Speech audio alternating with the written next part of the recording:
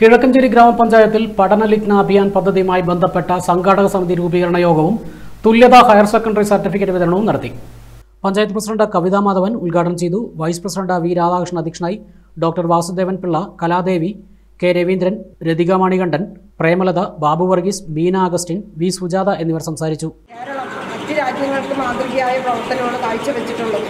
ഇപ്പോൾ നമ്മൾക്ക് ഇവിടെ പറഞ്ഞ പോലെ കേന്ദ്ര ഗവൺമെന്റ് പന്ത്രണ്ട് വർഷത്തിന് ശേഷം ഒരു ഫണ്ട് അനുവദിച്ചതാണ് പക്ഷെ നമുക്ക് കോവിഡ് കാരണം അത് കഴിഞ്ഞ വർഷങ്ങളിൽ നടത്താൻ പറ്റിയിട്ടില്ല.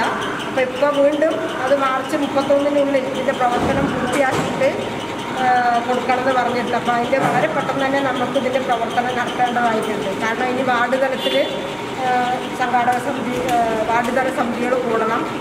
ഓരോ പ്രദേശത്തും പട്ടികജാതി പട്ടികവർഗം അതുപോലെ തന്നെ ന്യൂനപക്ഷക്കാർ അതുപോലെ തന്നെ അക്ഷരം എഴുതാനും വായിക്കാനും അറിയാത്ത ആൾക്കാരെ സാക്ഷരരാക്കുക എന്നുള്ളതാണ് ഇതിന്റെ ഉദ്ദേശം. അപ്പോൾ അത് കണ്ടുപിടിക്കുന്നതിന് വേണ്ടിയിട്ടുള്ള സർവേ ടീമുകൾ വേണം. അതുപോലെ തന്നെ ആ അംഗങ്ങളെ പഠിപ്പിക്കാനുള്ള പഠി അധ്യാപകരെ കണ്ടെത്തണം.